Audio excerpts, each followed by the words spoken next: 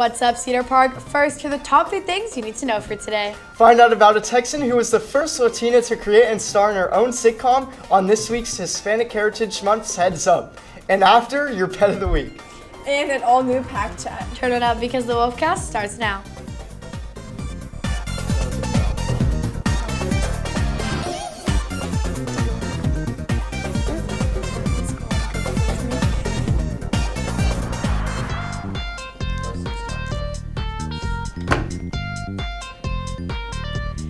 Morning, Cedar Park, and welcome back. I'm Abby Martinez, and I'm here this morning with Jack Polishek and Katie Whitmarsh. First up today, we recognize National Hispanic Heritage Month. The Wolfcast will be spotlighting one Hispanic Texan a week. This week's Hispanic Heritage Heads Up is on comedian and act actress Cristela Alonzo. Cristela is a South Texan native who is also the first Latina to create and star in her own network sitcom, aptly named Cristela, inspired primarily on her own life experiences. At your sister. I yell at her because I love her. That's what we do, right? Well, I love you too. Good. Well, I love both of you. And I'm going to my room now because all of this love is giving me another headache. No, you're not. You are going to stay here, and we're going to watch this pretty woman die. Cristela began doing comedy in the early 2000s after her mom passed away. She moved on from comedy clubs to appearances on shows like Conan and The Tonight Show. More recently, she starred in two Netflix specials, both setting streaming records. You know what pissed me off when I started hearing people say, we need to go back to the good old days? I'm Latina. When was our good old days? When JLo became Selena? That's what we get? For those of you that don't know Selena, Selena is the closest thing Latinos have to a superhero. She is a Mexican American singer. She died over 20 years ago, and we still talk about what she could have done. Oh, if Selena was still here.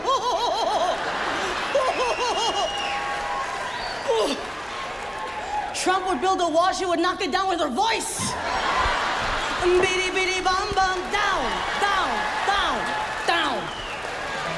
She says her love for comedy and TV began as a young child growing up in poverty, but finding joy and laughter from the TV.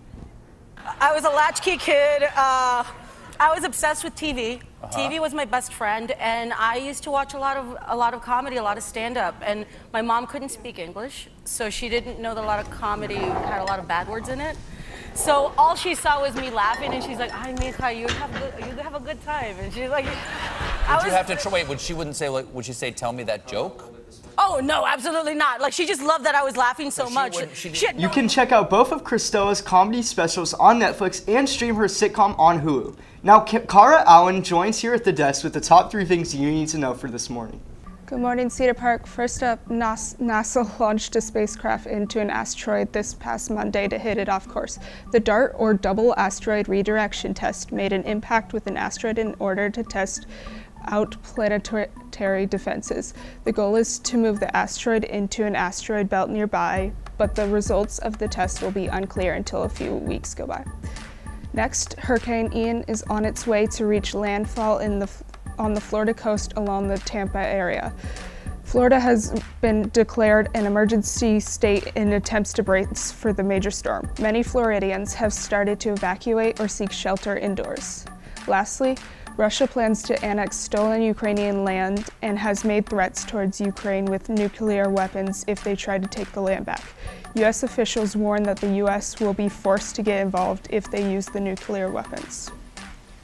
And that's the top three things you need to know for today. Thanks, Kara. So, if y'all were in a hurricane, your house is being flooded, what is one valuable item you have in your house that you would take with you?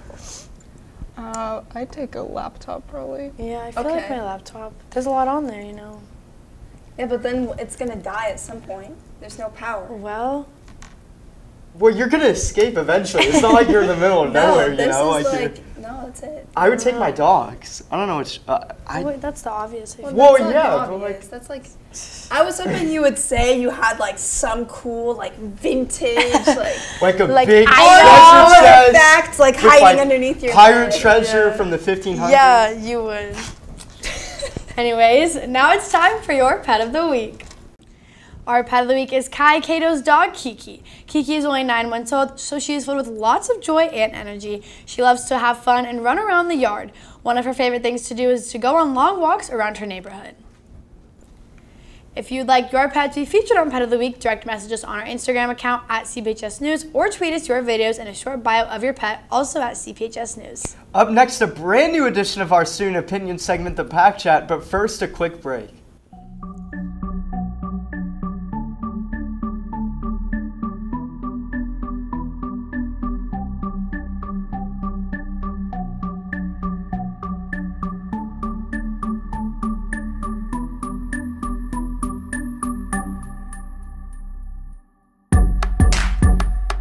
Welcome back to the Pack Chat. I'm Jack Polishuk, joined by Reed Cummings, Kason Johnson, and Kira Cox. The Pack Chat is our student opinion segment where we will be discussing this week's most trending topics and share some of your thoughts on social media along the way. So let's get started.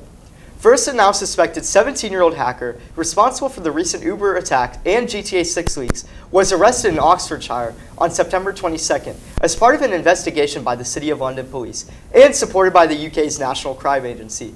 The subject is believed to be linked to the Lapsus hacking group, which was blamed for breaches at Okta, Microsoft, Nvidia, and Samsung earlier this year.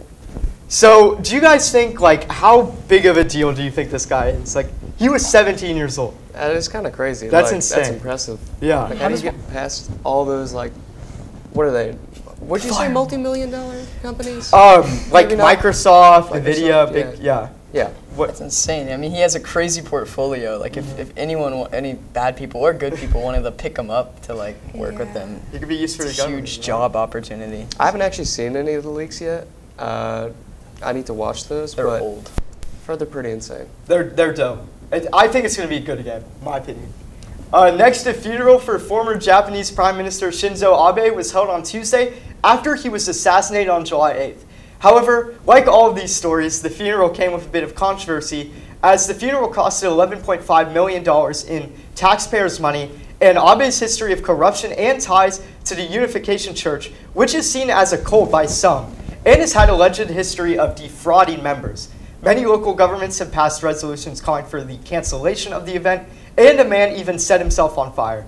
So, I don't know about y'all, but I don't really get what is so polarizing about this. Um, what are your thoughts?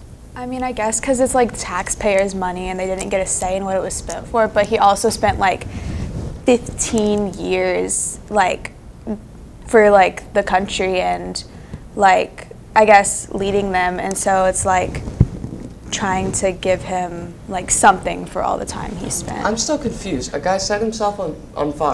Yeah. what, what, was, what was that about? So, because like I guess I see what I mean. I guess it was the church. I think the church is the biggest issue for a lot of people because like it's really um, corrupted, and so like a lot of families become bankrupt because of the church. You know, a lot of like older members will donate money, and that you know that was the cause of the assassination.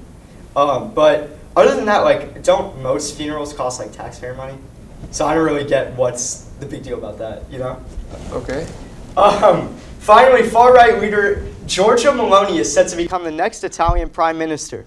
She will become Italy's first far right leader since World War II and has had politicians accusing her of spreading white supremacist ideas. Meloni would also be the first uh, Italian female prime minister, and she has advocated for anti immigration.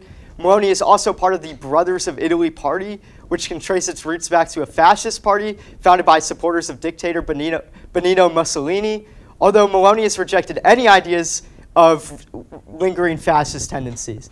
So, what are you guys thinking about this? Lots of lots of international discussed. Right, right. I mean, it's it's cool that like Italy has the first female prime minister, but I also see how it's controversial that she's far right because no one's really been that since World War II, which is yikes. But I don't. I'm not vibing with her policies. I gotta be yeah, real. I think that she's trying to like keep Italy as like just Italy and not letting anyone else in, which is like stopping it from like Very- growing and trying to keep like Italy like very like Italian roots. Very anti-immigration. Yeah. So like she's talked about that a lot, like especially from Africa, and yeah, I, I, I don't vibe with her. Not gonna lie. Um, that's all we have for today's Pack Chat. And remember, Pack, there's always time to chat, and we'll be right back after this quick break. We're wrestling and you're watching the Wolfcast. That's all we have for you today. Make sure to keep up with all of our content. Head over to our YouTube at CPHS News. You can also follow at CPHS underscore sports for updates during the games. We'll be right back on Friday with your weekend destinations and a sports report. Thanks for taking time to join us this morning. With CPHS News, I'm Katie Whitmarsh. I'm Jack Polishuk. And I'm Abby Martinez. We're making a great day or not. The choice is yours. Have a wonderful Wednesday, Cedar Park.